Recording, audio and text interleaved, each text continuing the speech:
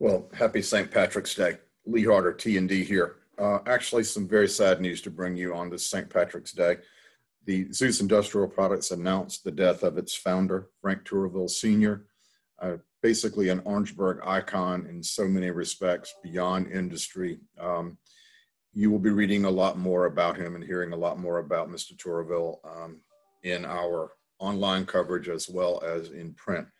Also, to, from today's headlines, um, you'll read where a, um, a, company is developing a new facility for a plastics plant that is to come to Orangeburg. You'll also want to take note of the fact that Thursday may produce some uh, nasty weather in the afternoons with chances of hail and even tornadoes. And if you think back to the year ago, almost almost now to the date, not quite. Uh, the violent tornadoes that hit in Orangeburg County, we know they can happen.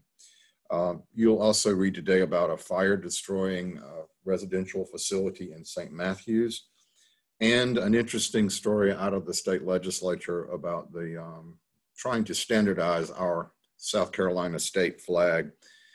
Over on the editorial page, today's opinion piece is an, an unusual one. It's about the Bradford pear trees, um, which have been putting on a real springtime blooming display in the Garden City and everywhere else around us. Uh, but there's uh, controversy surrounding those trees and the potential impact they have as basically an invasive species.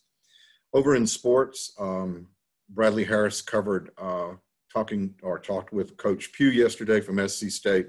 And needless to say, he was really glad to get a win under his belt last Saturday. But he's got some more stuff to say, and I think you'll find that of interest. Um, stay tuned with us for more coverage of the Bulldogs, and we will talk to you tomorrow.